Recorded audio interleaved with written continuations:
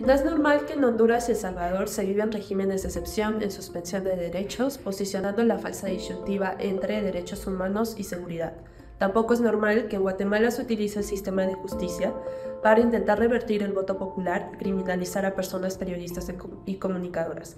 En el caso de Nicaragua y Cuba, tampoco es normal que se lleve a cabo una sistemática violación de derechos humanos y se usen leyes para negar los mismos derechos humanos.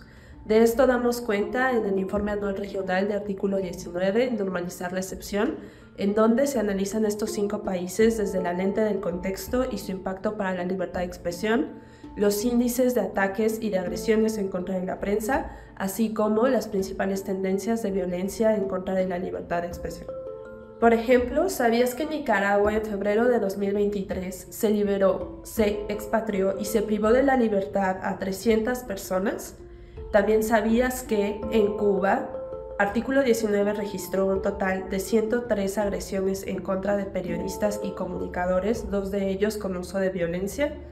Sin embargo, a pesar de las derivas autoritarias que se registran en el informe, también observamos alternativas que se muestran en las acciones resilientes de las personas periodistas y comunicadoras en cada uno de nuestros países. Finalmente, en el informe también colocamos recomendaciones para la comunidad internacional, la ciudadanía y las autoridades estatales de cada uno de estos países.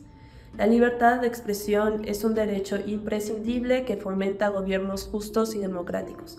Por ello te invitamos a leer el informe en la página oficial de artículo 19, artículo 19.org.